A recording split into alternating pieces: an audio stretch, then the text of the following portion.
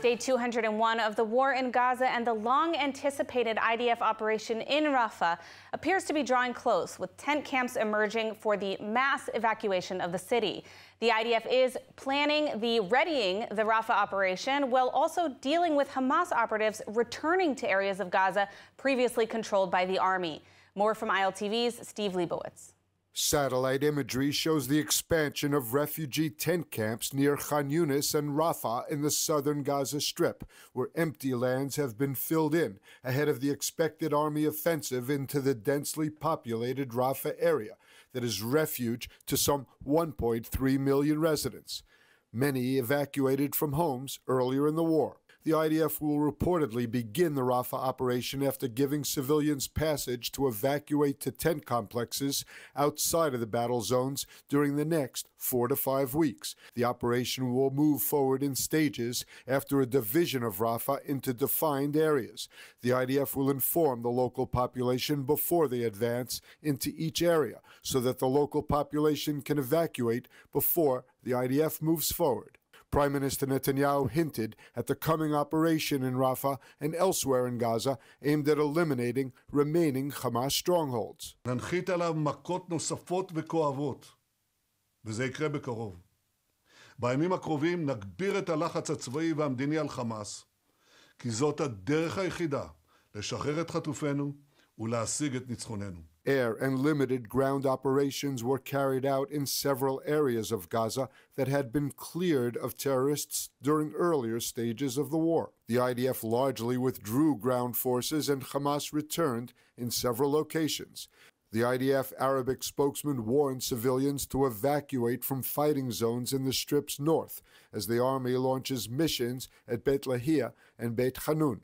Israeli airstrikes intensified with some of the heaviest shelling in weeks. Strikes by air and shelling from tanks on the ground were also carried out in central and southern areas of Gaza. The IDF was targeting Hamas rocket launching positions in southern Gaza.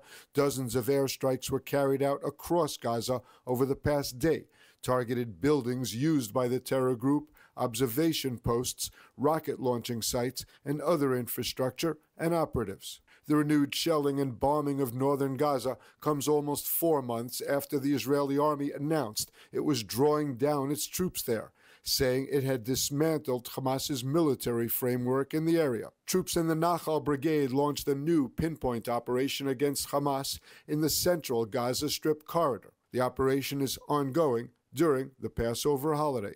The Army said the surprise operation was aimed at deepening achievements in the Netzarim corridor along the North South Highway. Israel Bonds, the heartbeat of solidarity, the powerhouse of support.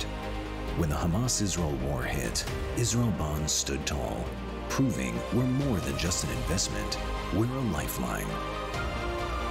Investing in Israel bonds isn't just a financial move, it's a declaration for resilience, strength, and a better future for Israel. Join us and let solidarity echo through generations. The U.S. Senate has passed with an overwhelming majority a $95 billion aid package to support Ukraine, Israel, and Taiwan. The bill specifically allocates $26 billion to Israel in support of its right to self defense in the fight against the Islamic Republic of Iran and its terror proxies, Hamas and Hezbollah. Let's take a closer look at what happened on Capitol Hill. On Tuesday, the U.S. Senate passed a long awaited $95 billion aid package to support democratic allies of the United States, including Ukraine, Taiwan, and Israel. This national security bill is one of the most important measures Congress has passed in a very long time to protect America's security and the security of Western democracy. The Senate approved four bills package as one with a vote of 79 to 18. Approved $61 billion to Ukraine, $26 billion to Israel, and $8.12 billion to Taiwan. It also includes a provision that would demand the sale of TikTok to a non adversarial nation, as well as targeted sanctions on the Islamic Republic officials. Of the $26 billion earmarked for Israel, $17 billion will go directly to wartime assistance, with another $9 billion going to humanitarian relief for the people of Gaza. When Iran backed terrorists invaded the Jewish state on October 7th to slaughter innocent Israelis, I warned that the world would watch closely for signs that American leadership was actually weakening. Our enemies have tested whether the arsenal of democracy is, in fact, built to endure. Well, tonight, the Senate will send a clear message. The bill, which has bipartisan support in the House and Senate, is expected to be signed into law today by U.S. President Biden. U.S. approves aid to Israel for the Gaza war and attacks from Israel's northern front continue. The IDF has remained steadfast in its intent to continue the job in Gaza, potentially launching an operation in Rafah. Here with us to discuss the impact of U.S. aid and the situation in Rafah is Brigadier General Reserves in the Reserves, Amir Avivi. Amir, thank you so much for joining us now. Uh, I-, I wanted to ask you, what is, what is the current situation in Rafah? I mean, we saw that there have been some strikes. Is there going to be a full-scale operation?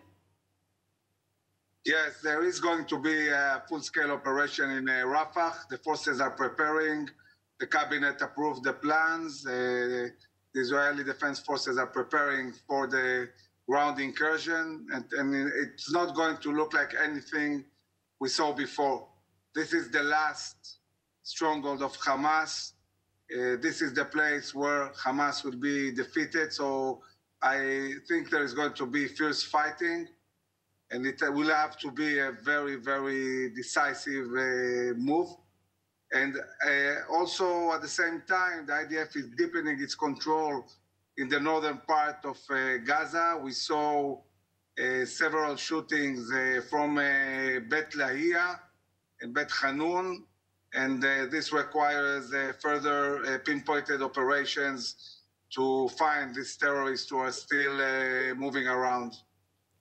Now, in the event of this operation, which you uh, have stated you do believe will happen, what impact will it have? You mentioned it will be the defeat of Hamas, but will this be enough to truly oust Hamas from power? And what about the larger threat, whether from Hezbollah or the Islamic Republic?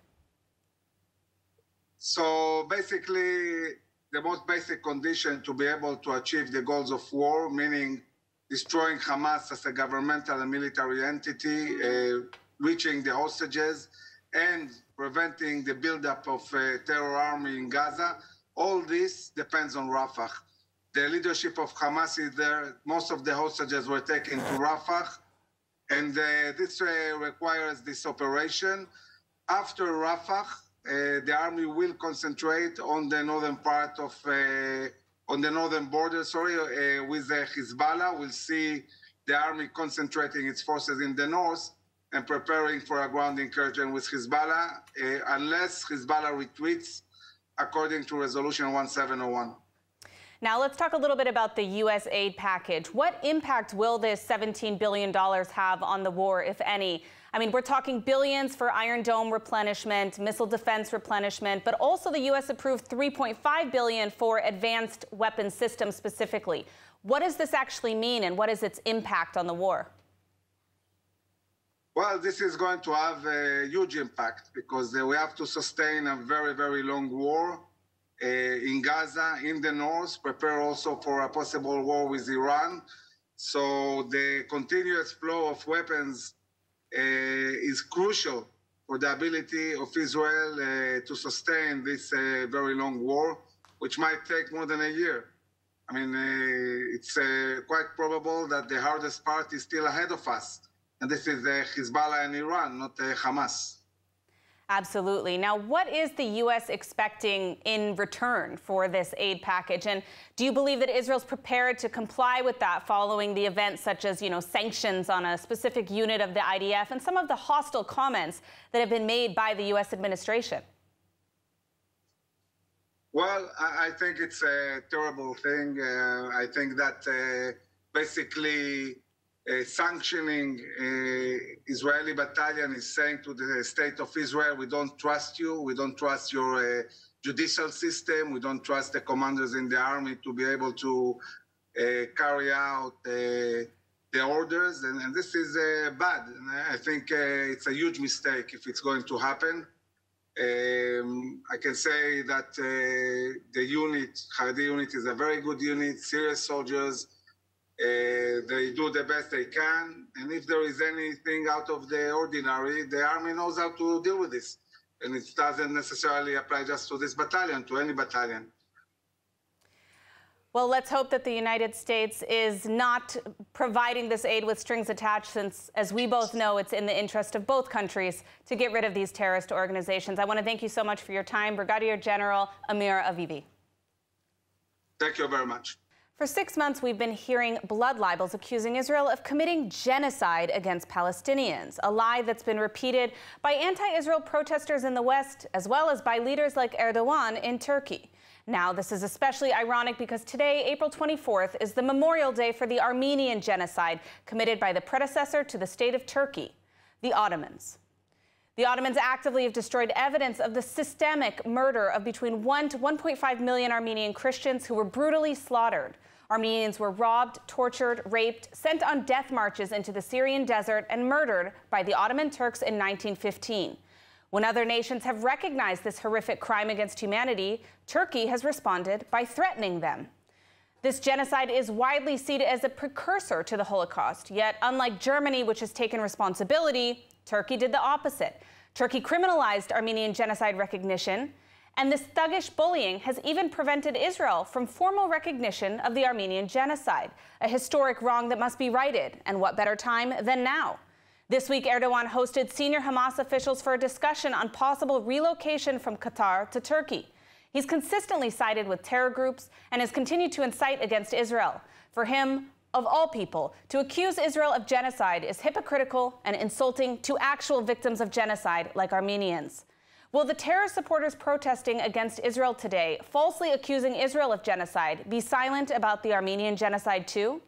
The self righteous indignation and obsession with Israel, while completely ignoring human rights atrocities being committed elsewhere, highlights the moral rot that has taken root in our societies. Whether from Western protesters or from dictators like Erdogan, there is silence on the famine in Sudan, where thousands are starving to death silence on the crimes against humanity being committed by China against Uyghur Muslims, silence on Armenians being ethnically cleansed from Nagorno Karabakh, and silence on the Islamic Republic brutally beating Iranians for hijab violations. What they really mean when they say that Israel is committing a genocide is that they want to commit a genocide against Israel. Something Hamas has been very clear about since day one. The hysteric demonization of the Jewish state is simply projection. Don't dishonor the victims of the Armenian genocide by falling for the libels of genocide denier Erdogan. On the northern front, the IDF successfully targeted two senior Hezbollah operatives in Lebanon, and air defense knocked out terrorist drones targeting Akko. ILTV's Steve Leibowitz has the latest. Two top Hezbollah operatives were killed in separate Israeli airstrikes in southern Lebanon. A drone strike in Adlun near the coastal city of Tyre killed Hussein Azkul, who the IDF identified as a central figure in Hezbollah's air defense unit. The army described his death as a significant blow to Hezbollah's air defense. Another overnight strike in South Lebanon killed Mohammed Atiyah, who the IDF said was a member of the aerial unit of Hezbollah's elite Radwan force. Atiyah was involved in the preparation and execution of various terrorist attacks against Israel. Earlier, explosive laden drones launched by the terror group were intercepted by air defense over Israel's northern coast. The IDF said three suspicious aerial targets believed to be explosive laden drones were successfully intercepted by air defense over the sea, one off the coast of Nahariya and two near Acre. The rocket siren sounded in Acre and it was activated due to fears of falling shrapnel. Following the drone attack, Israeli fighter jets struck two buildings in South Lebanon where the IDF said Hezbollah operatives had gathered. Experience the power of truth with ILTV News. If you're looking for quality content and captivating visuals, join our news community and become an integral part of our team as we embark on a mission to unveil the real Israel, dismantling the web of lies and misinformation that surround reporting on Israel. By subscribing to ILTV News, you will not only have access to the latest updates, but you will also amplify our message, creating a ripple effect that carries the truth far and wide. Subscribe today and help reshape the narrative. Available on the web, Android, and Apple. After more than six months, the families of the more than 130 hostages in Gaza are frustrated by the lack of progress in hostage negotiations, as is the United States. But it's not Israel to blame. Let's take a closer look at the story. For 200 days, Israeli hostages have been held in captivity by the terror organization Hamas after being kidnapped on October 7th. Despite multiple rounds of negotiations with the U.S. and Qatar as mediators, no deal has been made, despite Israel's repeated generous offers. The families of Israeli hostages have expressed great frustration with the failure to bring home more hostages. Today is uh, the 200 day that we have uh, hostages kidnapped. People, babies, women, old people, soldier, uh, was were kidnapped 200 days ago. And my brother-in-law is back there in Gaza. And with, with 132 more people, it's too much. It needs to be end. In response to the failed talks, the U.S. has criticized Hamas for moving the goalposts on negotiations, even when Israel has come to the table with serious offers. What you have seen over the past few weeks is Hamas move the goalposts. Uh, there are demands that they have made. Israel has moved some way to meeting those demands, and Hamas has then changed their demands. And so it certainly does seem like Hamas is more interested in a full scale regional war. Hostage negotiations have recently come under scrutiny as Qatar, a mediator, has been accused of bias, given Hamas leaders actually live in Qatar itself. The attention has led to a possible discussion of Hamas leaders relocating from Qatar, but the government of Qatar has rebuffed these statements. وبالتالي طالما هذا المكتب يؤدي هذا الدور بمعنى أن هذه جهود الوساطة ما زالت مستمرة فلا مبرر طبعا لإنهاء وجود المكتب في في الدوحة. ولكن حاليا لا أعتقد يمكننا التعليق على مثل هذه التصريحات تفضلت فيها. بالنسبة لنا كما قلنا قطر ملتزمة بجهود الوساطة ولكنها في مرحلة إعادة In addition to accusations of bias over their associations with Hamas, Qatar has also faced recent criticism for their coverage of the Gaza war on Al Jazeera. This week, a Qatari official also made headlines after receiving a standing ovation at the Arab League for stating that October 7th was a prelude and that Jews are murderers of prophets. Well, after weeks of protests against Israel and in some cases in support of Hamas, college campuses seem to be intensifying in their extremist conduct. Columbia University and NYU both have been major battlegrounds with multiple anti Semitic attacks taking place in recent days. ILTV's Rachel Safdie has more. Anti Semitism on U.S. campuses has reached alarming heights, with anti Israel protests morphing into mass demonstrations under the guise of the Palestinian cause. These protests have escalated to the creation of Freedom Zone encampments, as many protesters conceal their identities with masks or keffiyehs. Banners singling out pro Israel individuals as Al Qassam's next targets, a blatant call to kill Jews. At Columbia University, police intervention led to the arrest of about 100 protesters.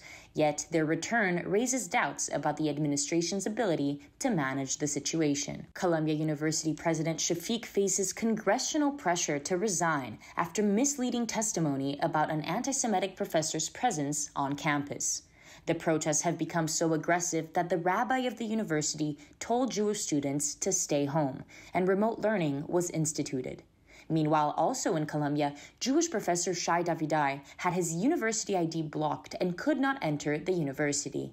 Similar scenes unfolded over the weekend at Yale as Jewish students were harassed.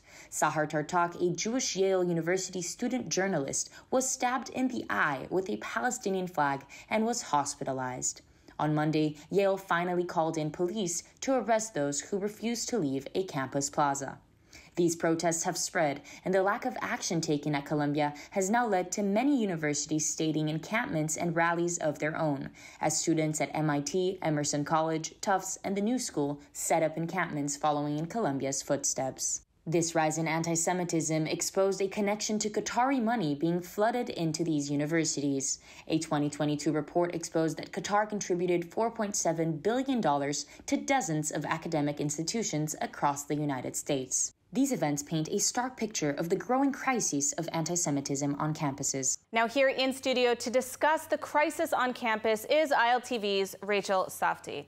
Now, Rachel, I myself actually just returned from New York. I was at Columbia University, and the scenes that I saw of these protests, I mean, they're shocking, the anti Semitism.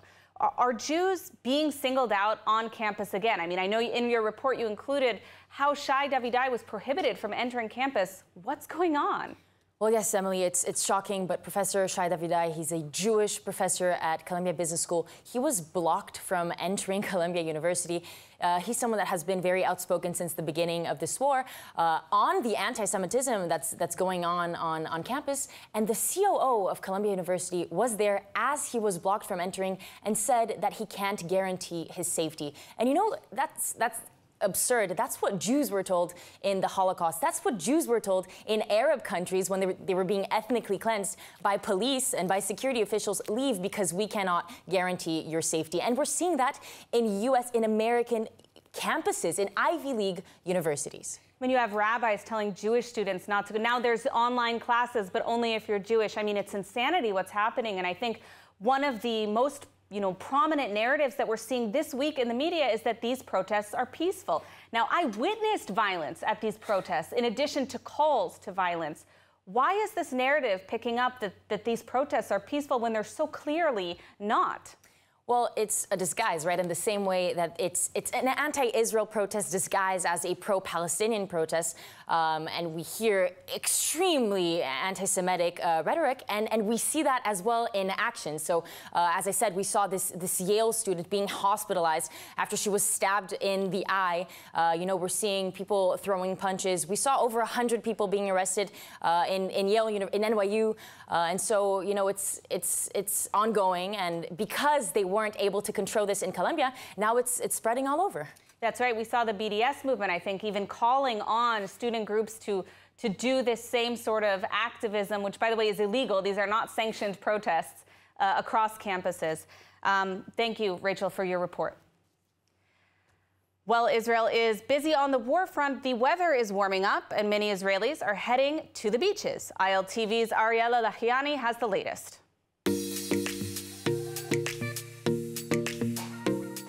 Hi Emily, so I'm here at the beach in Tel Aviv and it is boiling today. We're expected to reach around 36 degrees Celsius, definitely the first heat wave of the summer and the beach is getting more and more busy by the minute. But though the summer energy is definitely here, it's for sure different to previous years. As you can't forget, we are still in the middle of a war. So I'm going to speak to a few people and see how they feel about what's going on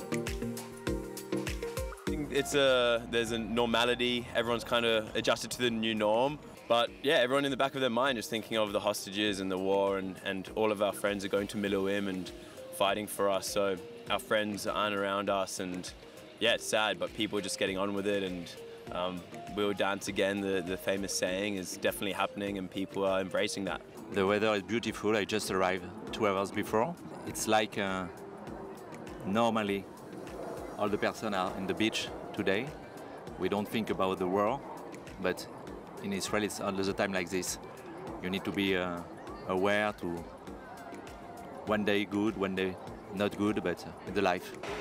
Everybody are very stressed about it, and we think about it like all the time. But um, yeah, and it's very, very hard, very hard time in Israel. Like people are afraid of the rockets and from Iran and Gaza, but we have a strong army and strong people, so we can be still like um, in a perfect mood and uh, we're motivated, so that's that's okay.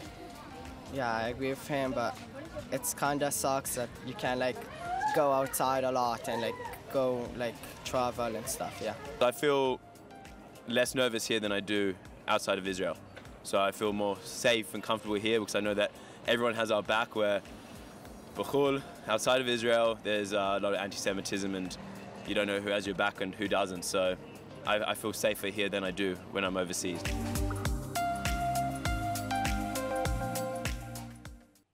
And now let's take a look at that weather forecast.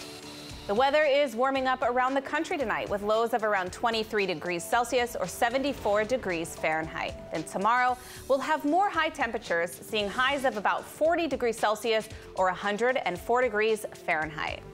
That's all for today's news. For more updates from Israel on all your devices, check out our ILTV channels, subscribe to our ILTV newsletter, and don't forget to check out our website, iltv.tv, with all the latest news from the heart of the state of Israel. I'm Emily Schrader, wishing you a happy Passover, and thank you so much for watching.